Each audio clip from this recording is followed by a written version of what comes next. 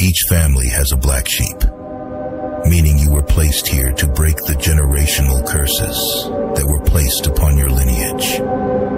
Your oddness is what makes you great.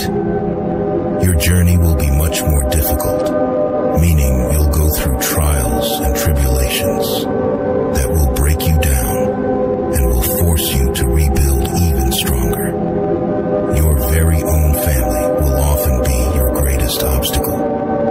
Keep your head high.